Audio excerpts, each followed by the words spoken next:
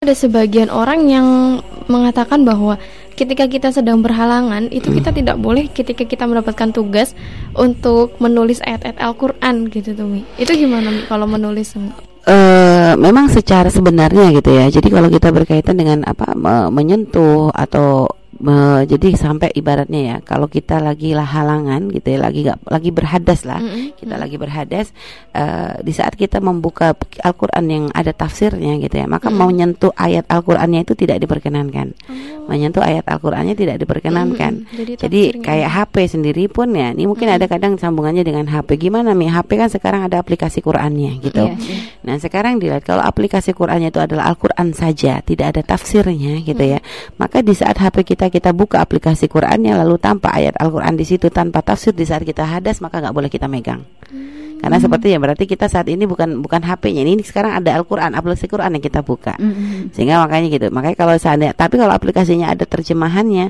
maka boleh kita buka walaupun saat itu kita sedang berhadas. Hmm. Hanya nanti kalau sedang berhadas jangan menyentuh yang ada lafaz Al-Qur'annya itu Al-Qur'an jangan. Jadi kalau emang mau ini pegang yang Indonesianya gitu. Jadi tidak langsung menyentuh. Terus kalau nulis gimana? Lah ini kan ada kondisi-kondisi yang kami katakan tadi diperkenankan karena emang ada kondisi darurat dia punya tugas, dia menulis dan sebagainya.